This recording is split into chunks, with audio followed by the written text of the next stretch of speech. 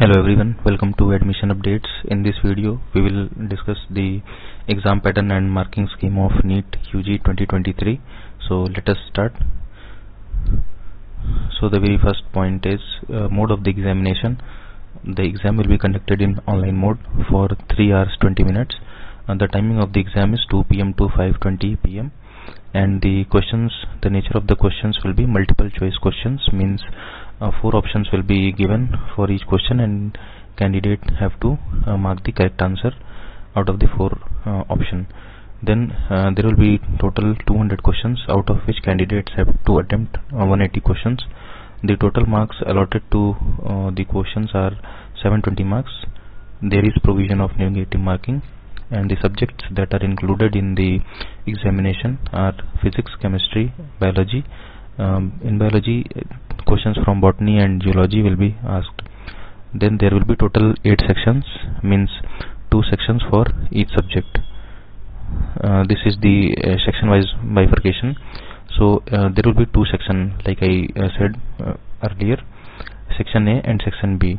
So section A of each subject shall comprise 35 questions for 140 marks and section B of each subject shall comprise uh, 15 questions for 40 marks. So this will make uh, the total marks of the examination 720. Now coming to the marking scheme, for every correct answer candidates will be awarded with 4 marks.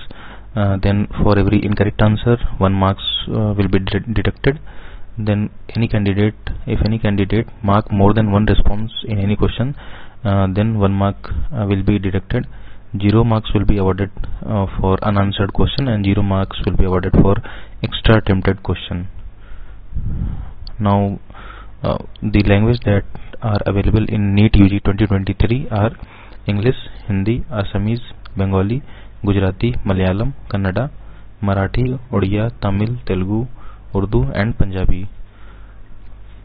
The candidates are required to choose the uh, medium for question paper very carefully um, because they cannot change it. So there are total 13 languages. Candidates can take the exam in their um, preferred language.